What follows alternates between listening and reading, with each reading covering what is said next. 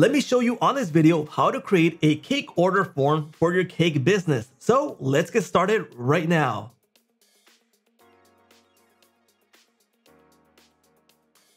Welcome to Jotform. My name is George, and on this video, I'm going to show you how to create a cake order form from scratch. And I'm also going to show you the cake order forms that we have available on templates so you can get started right away. So this is my Jotform dashboard. And the first thing I want to show you are the templates that we have available. So on the dashboard, head on over to templates, go to form templates, and in form templates, we're going to find several available categories right here. On this case, we want to search for cake order form templates. So let me select that for you. Let's go to order forms and we have bakery order forms or cake order forms, which are kind of similar. So in this case, I'm gonna do the cake order forms. There's several templates available that you can take advantage right now to build your order form. So you don't have to start from scratch. You can actually get started from here and modify it to your personal needs. So in this case, let me show you this one. For example, the cake order form, we can go ahead and preview it straight from the template section and we can actually fill it out from here to see if we want to actually use this template. So maybe we find this one useful. It has the options that we need and we can get started right away. Maybe it's already practically ready for us. We can use this template and it's going to take us to the actual builder where we can customize it if we need it or just go ahead and publish it. Another template that I want to show you that I really love is the holiday cake order form. Holidays are always around the corner and we have to take advantage of this.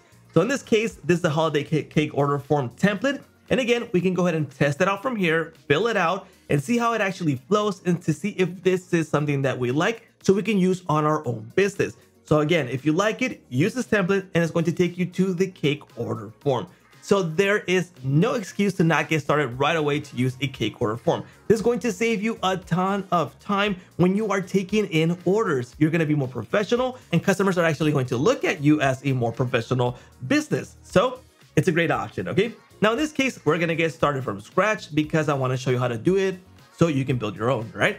So it's going to create a form. We we're going to start from scratch. We're going to use classic form and we're going to add the elements that we need to get this cake order form started, right? So on the left, we have our elements that we can drag inside of here. So we want to begin with the basics. For example, we want to know their name, we want to know their address, their phone number, and then we want to add some particular elements that are based for the cake order form. So these would be like the general ones. And then we want to get into the actual questions that are going to help us on our business know what type of cake they want. So for example, the first one we're going to drag in here is the drop down. We want to know, for example, the cake size that we need. So how many servings do you pretend to have this cake for? For example, is it going to be for five people, 10, 20, maybe it's a wedding, 100 people. So let's get started with this question. Okay, here we go. So it's cake size for the title, and we're gonna go into properties and on sub label, I'm gonna give it a little bit more of detail. So in this case, we wanna tell them why you need to respond this question and how to respond it. So in this case, to determine the size, please let us know how many people would be the cake for. So let's go ahead and set here. For example, we can say five to 10 people, 10 to 20 people, or 20 to 50 people, and so on and so forth. We have a simple drop down menu just for that or you could just go from small, medium, large if you already have some sizes for your bakery. So it's up to you how you decide how you are going to determine the size of your cake, okay? The next question that we want to ask is the shape of the cake. Remember, this is a custom order form, so we want to know what shape. Let's go again with another drop-down menu. In this case, I'm going to size this to make it uh, smaller. So I'm going to go back into properties, advanced, and I'm going to shrink it and I'm also going to shrink this one. We don't need to take up a lot of space for this, okay? So the next one is going to be cake shape, right? Cake shape. Some, some people might have a preference for a shape of a cake, maybe square, rectangle, round, or custom, right? So it depends what type of shape they want. And all this information is going to help us decide how much we're going to charge for that cake and know what type of cake they want, right? So the next question we want to ask is, for example, what type of cake they want, chocolate, vanilla, red velvet, etc. And we're going to bring in another drop down here. And again, we're going to make it small. So we're going to shrink it here in the advanced options. And then we're going to say type of cake.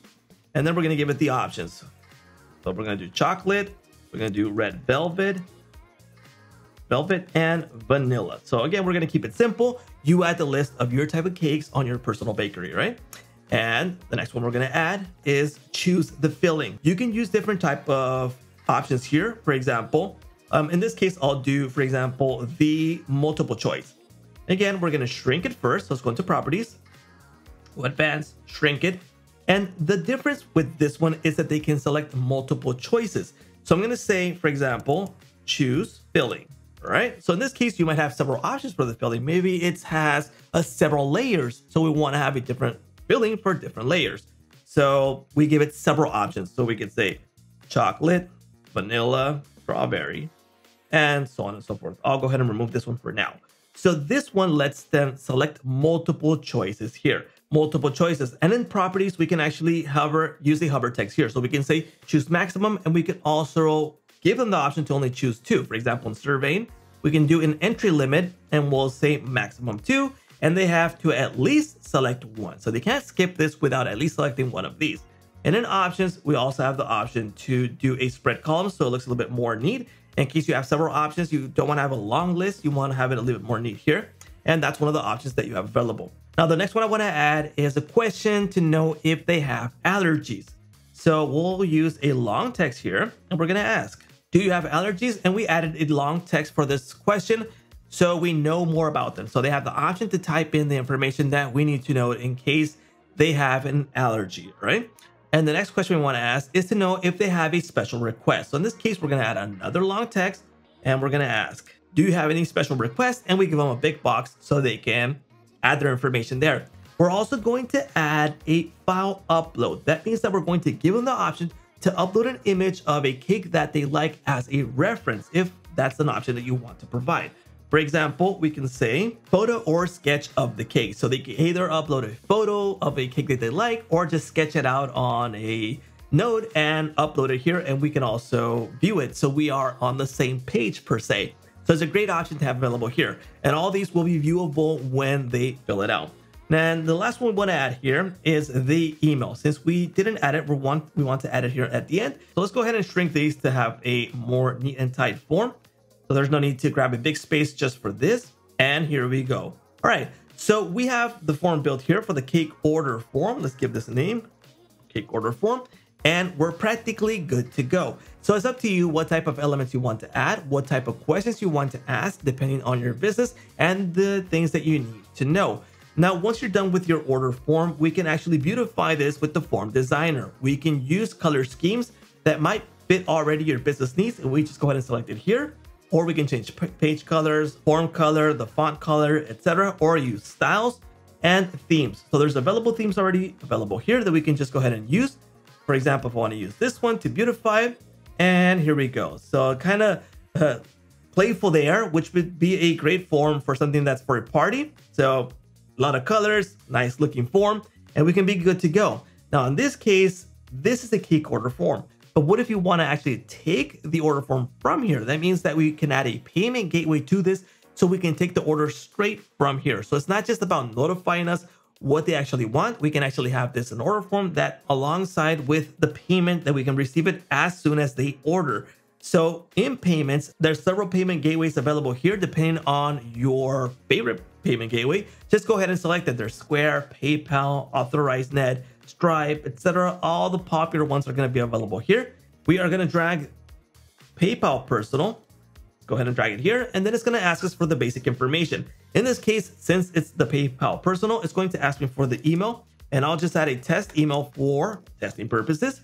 And I can select the currency here, and then it's going to ask me what type of payment do I want to receive. Is it going to be for products? And I can create these products.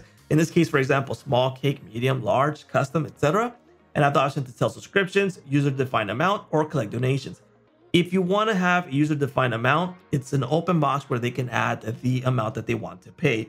And that could be a good option just for the reserving the spot for the personal cake. It doesn't mean that that's what they're going to pay, but they can start off from $10 just to have that order form in. So they can save a spot per se, all right? In this case, we're going to sell products. Let's go and continue. And we're going to create our first product. So let's go ahead and edit this. And I'm going to say small cake. Here we go. Small cake is going to cost uh, $45. Here we go. And this is going to say small cake for 5 to 20 servings. And this is just an example, right? Choose an image. So in this case, let me select from my image. Here we go. I just added a cake. You could add more images to this, right? We can auto scale the image, which would be a good idea. So they're all the same size. We can make it required, select as default as the first one as the first choice. But in this case, we are going to save it. Here we go. It's now saved and it's been added. We have several options for this. We can add a quantity selector. So in case you want to allow them to select several options, you can do a drop down to select quantity or text box. In this case, we don't want to have this available since this is practically a custom order form, right? Let's go ahead and select cancel. Then we have the stock options. We can enable a stock option available here to not sell too many. For example, we can select stock of 100, 50, 10, etc. and enable low, low stock alert to let us know once this has reached a certain limit, right? So let's keep it basic. Let's go ahead and save this. Let's go back and let's go ahead and create one more. Here we go. And this is going to be the medium cake. And this is going to be $69 and medium cake for 20 to 40 people. All right, this is just an example. Again, I'm going to use the same image just for testing purposes. And let's go ahead and save this. There we go. We now have two sizes available, small and medium, just for testing purposes. And let me go ahead and edit this because it says sold out. Let's disable the stock, all right? Let's go ahead and save it. And here we go. So we have two available options and now it's available to order right away once they order it through this form. There's also a really great option to add an inventory to this order form. That means that we're not going to oversell by using a widget that I'm going to add right now. So if we go to widgets and I select inventory, here it is, and drag it inside of here, we are going to open up a load more of options available for this. So for example, in this case, we have an inventory form, which is going to allow us to keep track and an inventory of our case, all right? So in this case, for example, description, it could be cakes and then the product image. So again, this is optional. You can do it by a link. The available quantity, we can say 100 and it could be a drop down. We can select the quantity range, submit value with label. If we enable this, then we can go ahead and submit it. In this case, we don't. So we're good to go like that. Counter label, will it remain? Hide quantity. So in this case, no, we can see right here, there's, there's 100 remaining which I would think for this purpose, we would want to hide it. We don't want to display that amount there, but it's up to you, okay? Now, once we're good to go, we go ahead and save this. And we can now keep track of the inventory with this widget that we've just added. So it's super practical to use this on the order form. Now, once we're good to go, we can go ahead and start taking orders right away. So if we go ahead and preview this in preview form, we can go ahead and fill that out. In this case, I'll use the fill form for testing purposes. And since none of these are required for now, we can go ahead and continue without having to fill out every single aspect of this form. I can make these required if I like, all right? So here we go. We can go ahead and submit. And it's going to take us to the payment gateway. Now, in this case, I have not enabled the payment gateway, so that's why it won't go through, but it gives you an idea of how this works. So you fill this out and you're good to go. Now, what if we want to add this order form to a website? Well, I'm going to show you that too on this video. Let's head out of the preview section. And if you want to publish this, we'll go into publish and we can go ahead and share this link right away. We can open in a new tab. We can also create the QR code that we can display on our bakery counter. So someone that comes in can go ahead and scan the QR code and order this cake from there. So that means that they don't have to wait a long line to order this cake. You can take orders straight from your counter by the QR code. And the other option that I want to show you is the embed on the website. So let's go ahead and copy this code. And in this case, I'm going to show you on my WordPress site where we're going to add this. So let's go into pages. And in this case, I'm going to add a new page. And I'm going to say cake order form. And I can add it straight from here. So in this case, I'll do a custom HTML, add it. Let's go ahead and publish this. Here we go. Let's go ahead and preview this page. And here we go. We now have this form embedded on a website. So you can go ahead and share the link from your personal website that is going to look really professional when you have, for example, yourcustombusiness.com at ordering cake. So it's going to look really professional when you send that link out. So it's up to you how you are going to use this. Like I mentioned before, you can go ahead and share it via link, email, QR code, social media, etc. And you have several options available to create your cake order form for your cake business. So this is going to take your business to the next level because it's going to save you a lot of time and you're going to look way more professional than just having manual work done on a physical page and you'll have this form available and all these details are going to be available for you to preview over here on tables.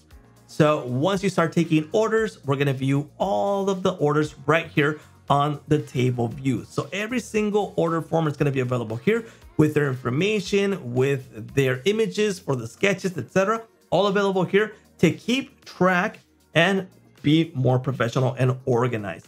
So there you go. That's how you're going to create your cake order form on JotForm. We thank you all for watching and please let us know here in the comments what you think about these cake order forms templates that we have available and what you would like to see in the future. Don't forget to like, subscribe, and hit that little bell notification to get notified when new videos come out. And that's a wrap.